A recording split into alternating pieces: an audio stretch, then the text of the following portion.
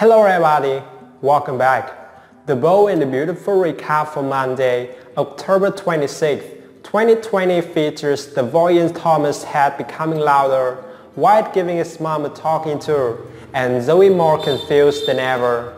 Thomas woke up hoping for the best, but things became worse than ever. Hope Dawn was still in his living room, chatting away telling him how much she wants him. The mannequin was so convincing, Thomas even pinched it to convince himself it was not real. The real Hope was at the office, having a meeting with Zende. They were going over his creations, but Zende was distracted. He kept looking at his phone, wondering where Zoe was. Zende was safe from Hope noticing he wasn't paying attention when Thomas stormed into the room.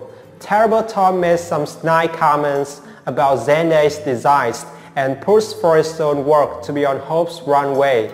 Then they left in a huff, and Hope put a foot down.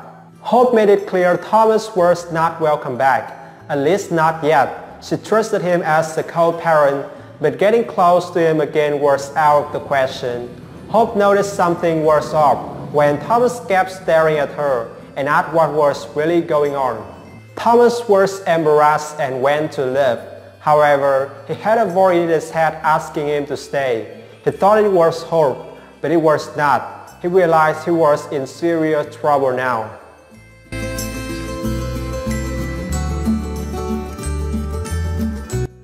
As for Zoe, she climbed out of Carter's bed and came down for breakfast. They talked about their night passion. Carter asked Zoe to move in again, but she said no. She took off to the office, where she blurted everything to a very shocked Zende.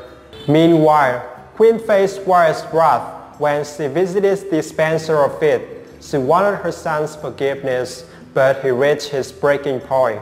He thought she was doing so well, but her latest skin proved she would never change. The Bold and the Beautiful Ass weekdays on CBS. Check your local listings for at times. Seems like some hot drama will happen, so stay tuned. I'll update and come back with the latest spoilers. Thanks for watching and don't forget to subscribe my channel to get more videos every day.